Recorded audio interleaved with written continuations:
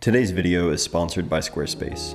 So I get a lot of questions about who my favorite photographer is, and while there are some answers that I could just give right off the bat, people like Elliott Erwitt, Sally Mann, those are two photographers I've always loved, but uh, at any given time, there are usually a couple photographers that I'm really, really into, at least for the time being. And uh, today I've got three different photographers that I've been hooked on for at least the last year.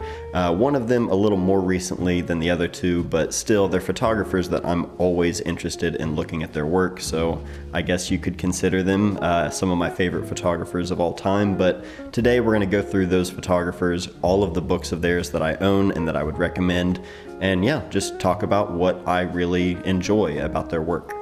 First up on the list is Mary Frey. This is a photographer that wasn't on my radar until basically early 2021, and that was by my good friend Kevin O'Mara, who helped me with my own book. Uh, Kevin was basically telling me all about why I would enjoy Mary Frey, and he knows I love Sally Mann, and Kevin is not the biggest fan of hers, and uh, he he said something. i am just gonna put Kevin on blast here, I guess. He said something to the effect of like, "Why do we need Sally Mann when we have Mary Frey?" Or it was something like that.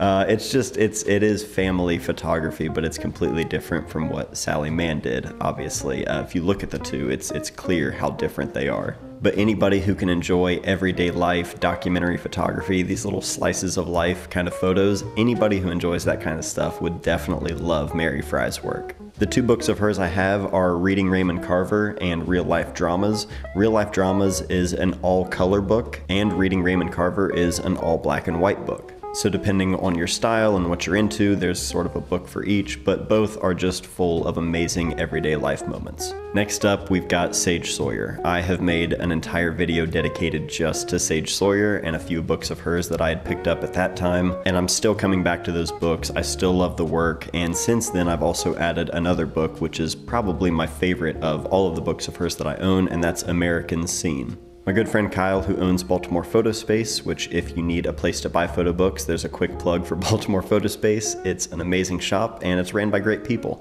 Uh, Kyle told me to check out Americans Seen because he knew how much of a fan I was of Sage's work, and he was like, if you are into her work, this is the book you need to own. And uh, yeah, he was definitely right. Last but not least is Mark Steinmetz, which is a photographer that I've referenced in other videos before, and I've talked about wanting to make an entire video just diving into his work alone. My list of YouTube videos is always growing, so I will get to that video at some point when I can give it like the proper time and attention that I can, but things have been busy. But for the meantime, you're gonna be able to see a little bit of his work in this video, and it is phenomenal. I own a lot of Mark's books. I don't own all of them, but all of them that I own, I would definitely recommend to really anyone wanting to get into his work. I think at this point I own more Mark Steinmetz books than I do Elliott Erwitt books, which says a lot because I've been an Elliott Erwitt fan forever.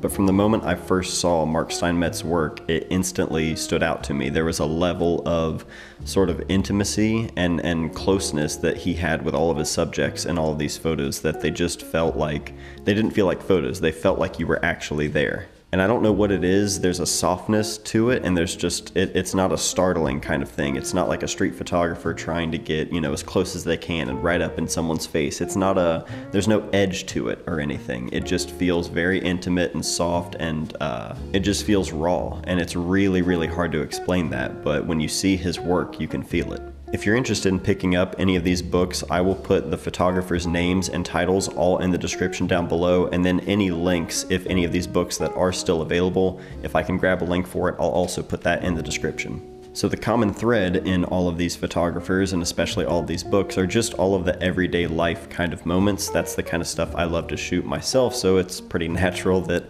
that's the kind of stuff I'm really drawn to, at least right now. So uh, if you're into that kind of thing, these books I feel like would be right up your alley. Um, and if you're not already consuming photography through photo books or zines, if you haven't at least tried that out, I would highly recommend you do it. Uh, you know, YouTube and Instagram and all that stuff, that's great but uh, actually consuming photography through a photo book and buying a book and being able to look at it whenever you want and hand it off to a friend and, and see it printed in front of you.